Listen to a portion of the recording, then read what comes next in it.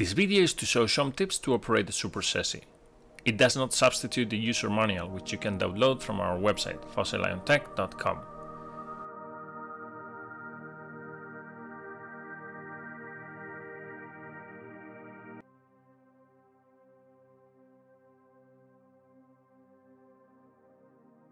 Once ready, the first thing to do is to connect the Super SESI to the MS.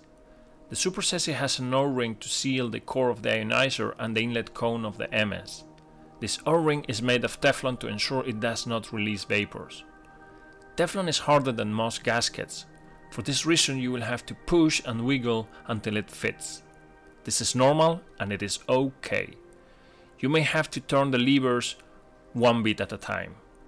This is perhaps the most difficult part especially the first time you do it. So take your time.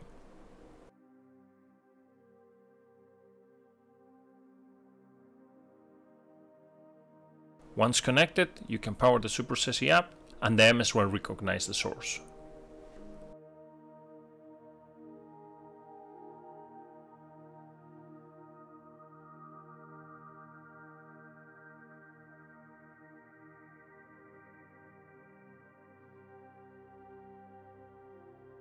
Changing the spray liquid is simple, just make sure the wire and the capillary are immersed in the liquid, and finger tight the vial to make it leak proof.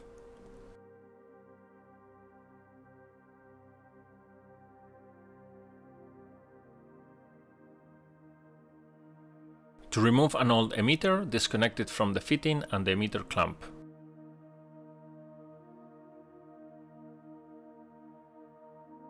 Make sure the fittings are all loose before removing the emitter. With use, contamination and solid residues tend to build up at the tip of the emitter. To ensure these residues do not touch the rest of the system, remove the emitter to the front side of the probe, that is, tip first.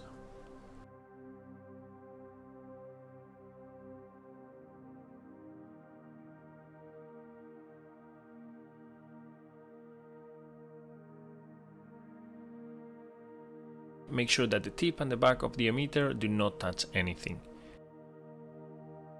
You will have to introduce the back of the emitter through the sleeve in the probe. The sleeve is small, so take your time.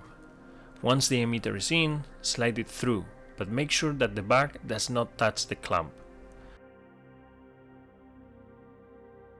Put the clamp in the reference position. Insert the emitter in the clamp from the side.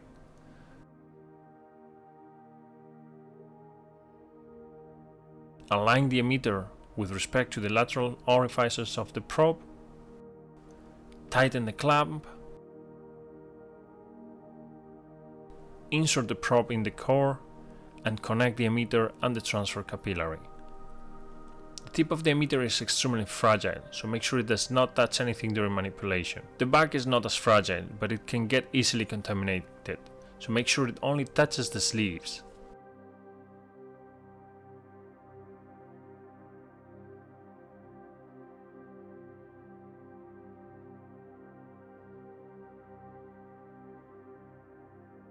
A tip to get good capillary connections. Make sure that the silica is sticking out before you insert the nut in the fitting main body.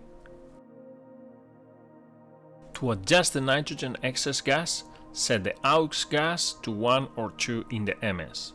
Stop the flow coming out through the sample line with your thumb, use gloves for this, and adjust the needle valve until the reading of the mass flow controller is between 0.3 and 0.4 liters per minute.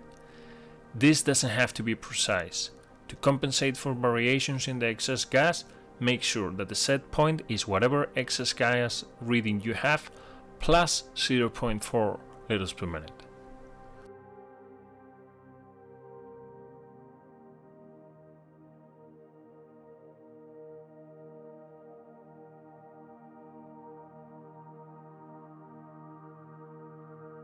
Normally, baking out the system should be enough to keep it clean, but sometimes some contaminants are particularly sticky and refuse to leave.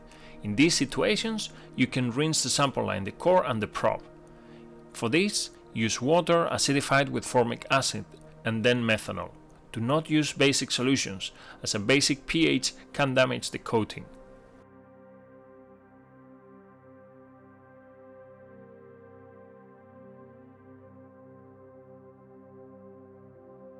Once rinsed, make sure that it is not dripping.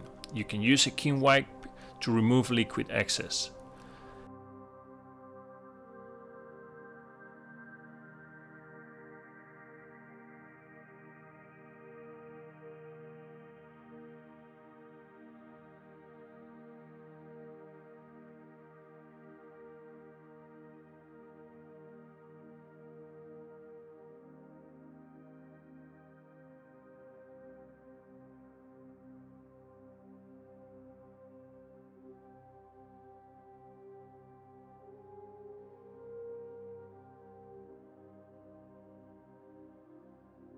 And let it dry before connecting to the MS.